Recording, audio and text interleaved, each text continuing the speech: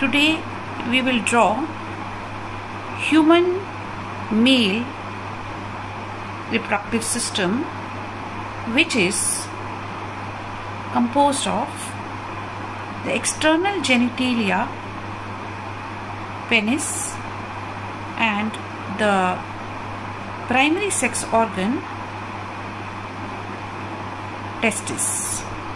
Now you can start your diagram making this. And when you get the outline correct you can show the internal organs also. So I am showing the urethra which runs into the penis. And I am also trying to show you the scrotum which holds the testis. T E T I S testis is singular while when you replace I with E it becomes plural but the pronunciation remains same. So the testes are round or oval structures which are nothing but clusters of seminiferous tubules they all are present in dense connective tissue tunica albuginea and they are connected to the skin fold scrotum with the help of gubernaculum, the ligaments. Now, the, this position of testis is essential to maintain the temperature of testis lower than body temperature by at least 2 to 3 degrees Celsius. Otherwise, the spermatogenesis will not be possible. So now children I am showing you the urinary bladder which is present. Now when you show urinary bladder remember you have to place it as per the position of your pubic bone. So this is the reference point pubic bone in males and right behind that is present the urinary bladder.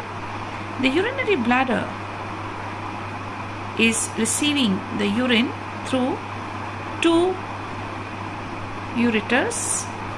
So taking that also as reference point I'm going to show you how the next part of the diagram vas deferens will be made but before that coming back to testis the testis when they make the sperms they give it out for temporary storage and activation of sperm to a small convoluted tubule called epididymis which is present right on the surface within the scrotum itself. And then this goes out in the form of vas deferens and it loops over the urinary bladder like this and then it will join the urethra which we have drawn here. So you need to keep your finger steady and bring it right here.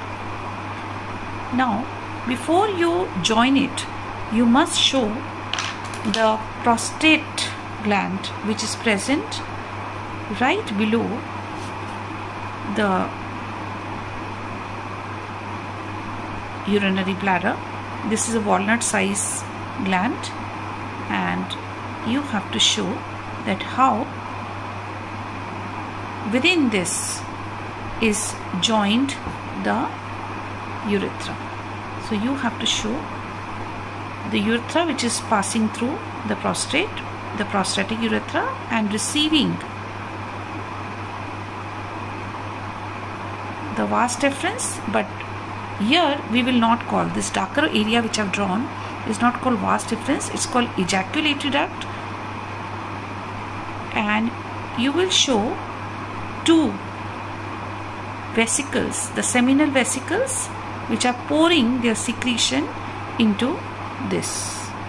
So this darker area is called the ejaculatory duct this is ejaculatory duct which is passing through the walnut size gland prostate gland right? So this is a prostate gland. Now rest you can draw.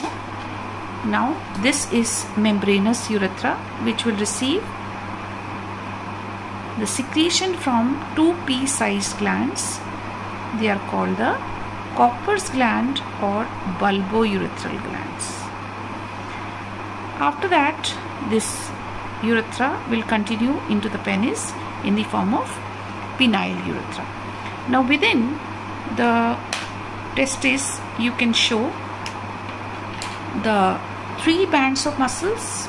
Here you will not, will not be able to show all the three because it's a two dimension diagram. The corpora cavernosa, two bands and one is corpora spongiosum. So you should show them just as outline. Otherwise your diagram is not going to be very clear with so many lines drawn. So just show the musculature of penis like this just giving a hint of the musculature while in the beginning part of the penis which is swollen also called glans penis you are going to show the skin fold the loose skin fold what I'm drawing right now. Is called the prepuce and then of course rest of the muscles. Here you can even show an ampulla in the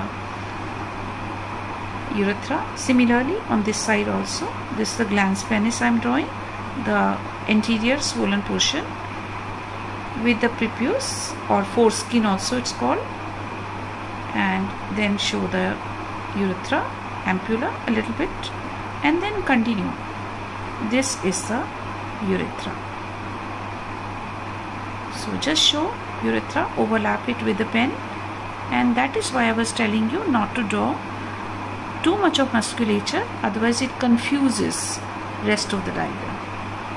So this is the urethra coming through the corpora cavernosa corpora spongiosum. Actually the urethra runs through corpora spongiosum. Now the color of the glands you may show these are accessory glands you can show in a different color as I'm showing you. The ducts you can show in a different color and the rest of the lines you may show in a different color. If you cannot use too many colors then you can use different shades of the pencil. So it's an important diagram for CBSE class 12th. I'll just label it and show you. Now the diagram is ready with the labeling. As you can see that the primary sex organs testes are present which form the sperm. They deposit the sperms into this convoluted tubule epididymis and the whole structure is present within the scrotum, the skin fold. Now from here the sperms will rise up into the lower pelvic cavity through the narrow and long tube called vas deferens looping over the urinary bladder. Now the vas deferens is supposed to meet the urethra coming from the ureter through the ejaculatory duct which I'm labeling right now for you. This ejaculatory duct is going to uh, deposit the sperms into the prostatic urethra. Prostatic urethra is a urethra which is passing through the prostate gland. It produces the nourishing fluid and before that in ejaculatory duct was a secretion of seminal vesicle. Seminal vesicle was coming. So both of them are the accessory glands and the third gland bulbourethral gland which is also called Cowper's gland is going to pour the secretion after that. So now all the three secretions have been added to the sperm and now it's formed semen. This part of urethra which is outside the prostate gland but not inside the penis is called the membranous urethra. This urethra is going to enter the penis, the external genitalia, a muscular copulatory organ. This urethra is called penile urethra which will open outside through the urethral meatus. Now penis in turn which is covered with the skin sheath over the three bands of muscle corpora cavernosa and corpora spongiosum will have the urethra running through the corpora spongiosum and at the tip it is swollen it's called the glans penis. At the tip of this glans penis the skin fold is loose okay? This is called prepuce or the foreskin while here the reference point for making the urinary bladder should be the pubic symphysis. You should know that in human male the system is urinogenital. The urinary system and the reproductive system have a common opening which is the urethra. That is why the two systems are supposed to be combined and they are called urinogenital system now for reference you can also make the rectum which is right behind the urinary bladder and little above will be the vertebral column. So this is how this diagram has been depicted even in your CBSE book. So please follow all the orders and thank you.